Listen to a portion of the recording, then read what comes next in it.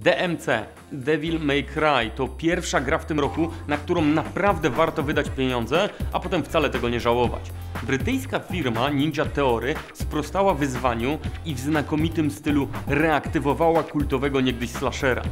I oczywiście pierwsze pytanie. Ile w nowym Devil May Cry pozostało z tego dawnego, gotyckiego Devil May Cry'a? Gotyckiego no tego akurat niedużo.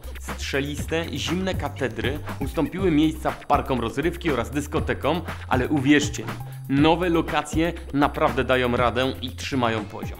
Mamy też do czynienia z zupełnie nowym, ale jednocześnie starym bohaterem.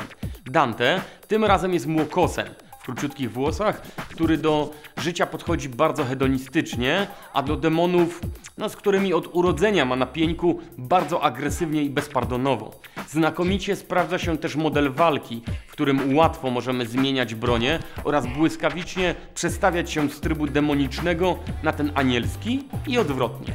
Polski portal gram.pl w osobie Michała Mielcarka jest zdecydowanie na tak i nowe wcielenie Dantego ocenia na 8,5 w skali 10-stopniowej. Michał uważa, że w Devil May Cry zawodzi przede wszystkim grafika, która na pewno nie kwalifikuje się do pierwszej ligi graficznych majstersztyków. Od jest po prostu dobra.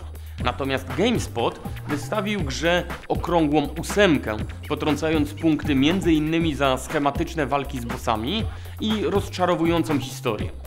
Zgodne oceny obowiązują także na portalu Metacritic, gdzie średnia dla Devil May Cry wynosi bardzo dobre 86% dla wersji Xboxowej.